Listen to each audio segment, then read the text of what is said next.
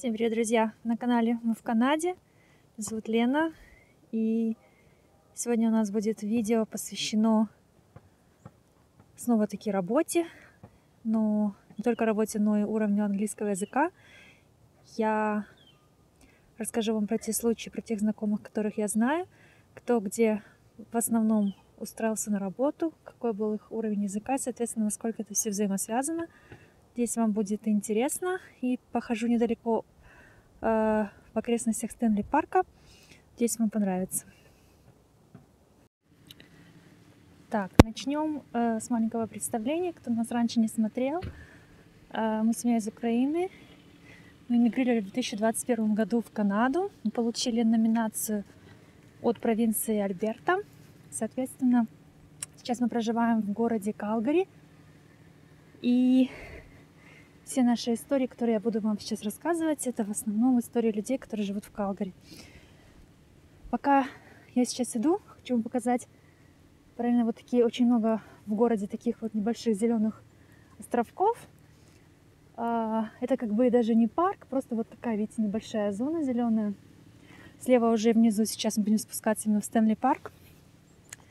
А справа вот такие называются оф-лиш парки. Это такие зоны, где разрешается выпускать собак без поводка, как бы выгуливать их. Но здесь очень часто не только собачки, но и люди гуляют. В принципе, здесь культура у собаководов довольно э, хорошая. То есть основная масса прибирает после своими собачек, после своих собак. И, в принципе, очень редко где по городу встретишь вот такие сюрпризы на траве. Вот, поэтому именно э, по этой причине вот не только собачки здесь гуляют, но и люди какие-то пикнички, либо спортивные занятия часто проходят, потому что здесь такое удобное расположение и часто такая безветренная зона.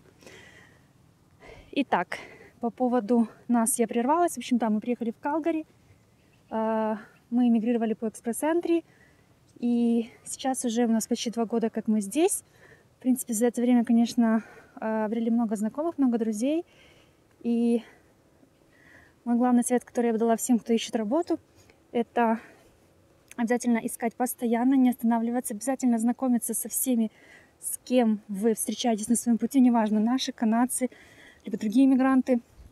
И обязательно говорите всем, что да, вы ищете работу, а, рассказывайте, что вы умеете. У вас всегда должно быть хорошо созданное резюме. Не забывайте его, опять же, а, постоянно редактировать. Кто не знает, а, быстренько напомню, потому что многие забывают. То есть у вас может быть одно резюме на все-все-все, у вас должно быть на каждую вакансию переделано резюме под то, что ищет соискатель, а, вернее, работодатель. А вы как соискатель, вы должны постоянно мониторить, исправлять и обновлять его, чтобы оно соответствовало тому, на что вы подаетесь.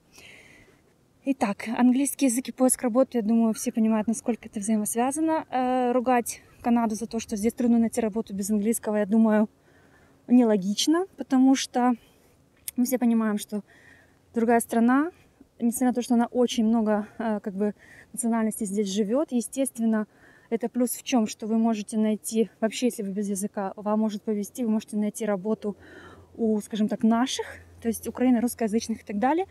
Э, первое время вам будет проще, но, естественно, если вы хотите как-то двигаться вперед, я вам очень-очень рекомендую учить язык, продолжать, не останавливаться, потому что, в принципе, без языка здесь очень очень тяжело. И, соответственно, э, вопросы из серии, кем я могу устроиться, если я не знаю хорошо английский. Ну, я думаю, для мужчин здесь проще, потому что объективно мужчина, в принципе, создан да, для того, чтобы э, иметь возможность поднимать тяжести или выполнять какую-то другую физически тяжелую работу. Поэтому, в принципе, мужчины могут пойти и на стройку, и на окна, и на какие-то мувинги. То есть там, не говорю, что там вообще нет ну, не нужно знать язык, конечно, элементарно, чтобы туда устроиться, тоже нужно, да, кое-как связать два слова, но, в принципе, это реально. Другой вопрос, долго ли вы сможете протянуть на этой работе, это уже второе, потому что, на самом деле, правда, нелегко. И мы, допустим, знакомились недавно с людьми, они поработали, э, мужчина, муж поработал на стройке и сказал, что, ну, как бы нет, сорян, тяжело, потому что, опять же, это улица, холодно, зима и все такое – и я знаю, очень большой процент наших э, сейчас ушел работать в Uber, в доставку, либо же просто в Uber именно в такси. Там, конечно, есть требования по э, автомобилю, то есть там, не знаю, я не уточняла нюансы, то есть там должен какой-то новый автомобиль относительно, не так, что вот что попало, как бы, да, десятилетней давности. То есть там нужны какие-то определенные требования к машине, но в целом, вот недавно говорили с друзьями, а они говорили там с кем-то на дилершипе, в общем, на вот этом салоне, говорят, что очень-очень большой процент именно наши украинцы покупают, приехали, и вот они становятся вот на очередь и покупают новые машины, берут в кредит, потому что именно вот выгодно, да, брать эти машины и идти работать в Uber, потому что, в принципе, зарплата неплохая, не могу сказать точно, сколько они получают, но знаю, что, наверное, не меньше, чем на стройке, но, опять же, так сказать, работа в тепле, вы сами себе хозяин, поэтому очень многие люди, я знаю, идут на Uber. Э, лично наша семья, то есть этим не столкнулась, у нас никто там не работает, близких друзей там тоже у нас никого нет, поэтому не могу сказать, насколько это правда либо нет. Но вот такие слухи реально ходят, что очень-очень много людей работает на Uber, как мы понимаем, в принципе, там большого английского знания тоже не нужно, поэтому вот это одна из тех э, как бы сфер, куда идут мужчины. Дальше. Э, по поводу женщин, конечно, здесь немножко сложнее. Почему? Потому что, естественно, женщина не пойдет искать никакие тяжести.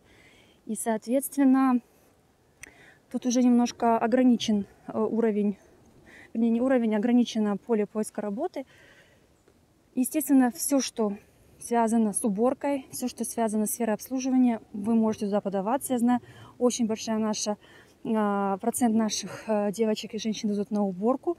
Некоторые идут в бэби-ситинг, но там, опять же, все это ограничивается, опять же, нашими э, выходцами, потому что, если вы не знаете английского, немножко будет проблематично, потому что вы понимаете, что это дети, когда кормить, что давать и так далее. То есть вам нужно будет общаться с ребенком, с родителями, поэтому если же это babysitting, то это только наши. Уборка отелей, я знаю, тоже очень популярна. Естественно, тяжело, но я слышала, что эта программа тоже подходит под пиар, поэтому я знаю, что многие, кто работает на housekeeping е, на full-time е, тоже могут подаваться.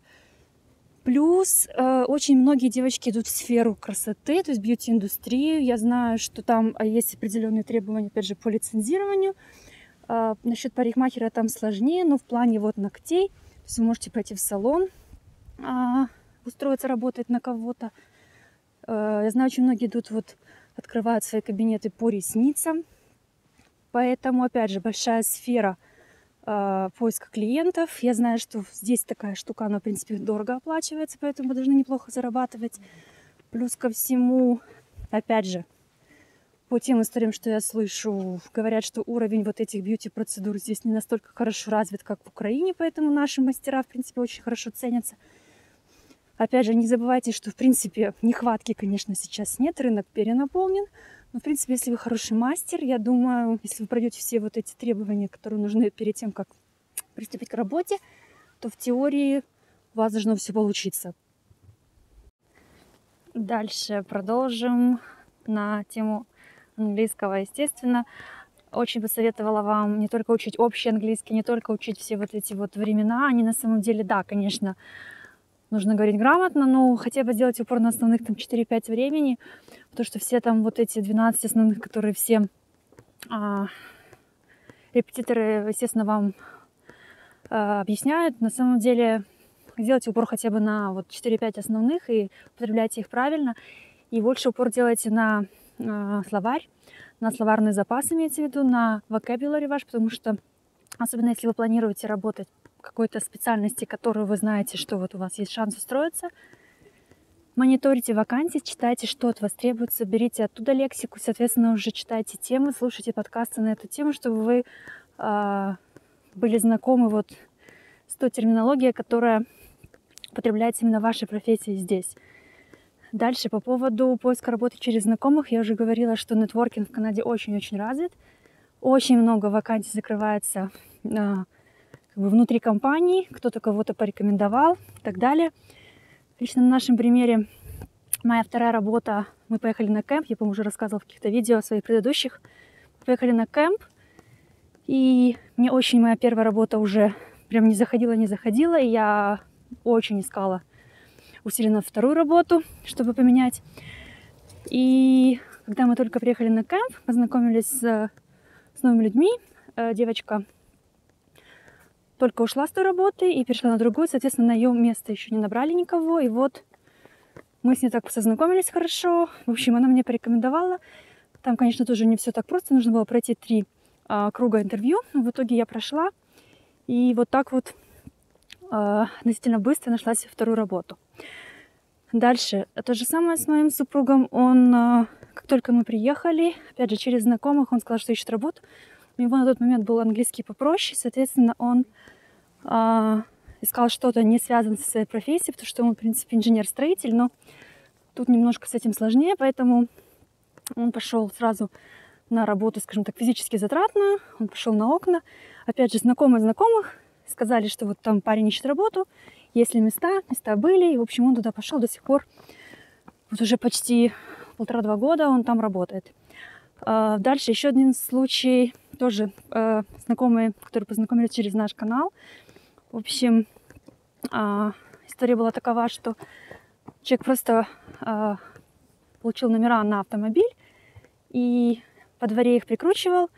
Кто-то подошел, там что-то спросил, какой-то инструмент недостающий там подал, познакомились. Кто потом оказалось, как этот человек работает, в принципе, в той же структуре, в которой и вот наш знакомый, и он еще помог потом устроиться на довольно неплохое место механиком, то есть, в принципе, в ту же отрасль, где человек работал и в Украине. Вот, поэтому вот такие какие-то моменты, они, естественно, доля случая, доля везения, но, опять же, английский язык у человека был не на, не на нуле, то есть был на среднем уровне, естественно, без английского такого, наверное, бы, возможно, не получилось сделать. Поэтому не углубляйтесь в эту грамматику, учите какие-то основные времена, подтягивайте словарь, чтобы вы могли для начала просто базово общаться, выражать свои мысли, а уже потом, естественно, подключайте свой словарь по теме вашей именно профессии. Дальше, в продолжение того, где работают наши девочки. Очень много людей идут в магазины на выкладку, на кассу, либо продавцами, консультантами. Зарплата там, конечно, часто плюс-минус минимальная. Но не забываем, что если у вас есть хороший опыт из Украины на какой-то, пусть даже не руководящий, ну вот какой-то административный, либо что-то вот плюс-минус, вы не только продавцом были, вы можете, подучив английский, имея уже канадский опыт, можете делать ставку, идти даже в этой сфере, в сфере ритейла, на помощников руководителя, либо там на ассистент-менеджера э, в самом магазине, на администратора. В общем, там тоже есть разные варианты. Конечно, зарплата не будет там супер высокая, но те же, например, 25, плюс-минус может быть 20, может меньше. Ну, наверное, разная сеть по-разному предлагает, но в принципе это тоже реально. Опять же, при хорошем английском у вас все может получиться, поэтому не засиживайтесь и учите постоянно. И поработав немножко на одной специальности, пытайтесь даже в этой специальности немножко повышать планку и параллельно искать, не бросая эту, параллельно что-то искать. И вот отвлекусь, как вы видите, парки очень-очень разные здесь в Канаде. С одной стороны, там двух-трехмиллионные дома. Слева вот такие, мы только что шли по дорожке такой культурной, а вот немножко вышли левее, правее, вот прям такой лес-лес, как я называю. И на самом деле очень много таких классных парков в Калгари, потому что это прям такие кусочки природы прямо в центре города. Наверное, Многим такой формат больше нравится, чем просто говорящая голова. Я сама не всегда люблю такой формат. Но, как вы понимаете, мы очень редко где-то вот в одиночестве я спокойно гуляю. Обычно мы всей семьей или я куда-то бегу, лечу. И не всегда получается снимать по ходу дела. Плюс скоро будет холодать, и такие видео будет тяжелее снимать, потому что, например, сейчас кажется, что тепло, тепло и красиво, и не ветрено, но на самом деле сейчас градусов, наверное, не знаю, 10-15, потому что руки реально мерзнут, потому что очень похолодало. Но скоро обещают снова потеплеет на пару дней, поэтому, в принципе, пока осень не так плоха. Хотя, если вы сейчас пройдете мимо какой-то школы, там сейчас у них как раз lunch break, вы увидите, что дети кто в чем. Кто в куртке, кто в шапке, кто в кофте, кто в футболке, кто в шортах. И в принципе, мне очень нравится, что здесь. То же самое со взрослыми. Как бы все одеваются, как кому нравится. Никто никого не начинает рассказывать, знаете. Как у нас дома часто мне все говорили, что я вечно была самая первая в шапке. Вот что ты пугаешь там, знаете, хорошую погоду. Что ты в шапке, что ты там в сапогах. И как-то вроде понимал, что как бы как хочу, так и одеваюсь. Но постоянно какие-то ремарки, знаете, комментарии от окружающих немножко подбешивали. А здесь вообще отлично. Здесь вообще всем все в хорошем смысле по барабану. И Хоть в шапке летом, хоть голой зимой, вообще всем по цимбалам реально. В общем, я сейчас немножко отвлеклась, забрела в дебри в прямом и в переносном смысле. Сейчас будем искать выход и тропинку. Вот, но суть, я надеюсь, моего видео и посыл вы поняли о том, что учить язык нужно не переставая. Если вы нашли работу, но вы понимаете, что это не предел, вы хотите большего, не только надейтесь на то, что в процессе работы он у вас сам с собой подтянется. Конечно, он подтянется, это однозначно, если вы работаете и общаетесь постоянно на английском. Но вы даже можете самостоятельно дома что-то читать а слушать, не там какие-то упражнения делать, просто читать, слушать какие-то подкасты, это тоже будет полезно, потому что даст вам а, тренировку. Поэтому у меня на этом все. Надеюсь, вам было интересно. Если да, не забудьте подписаться и увидимся в следующих видео. Пока-пока.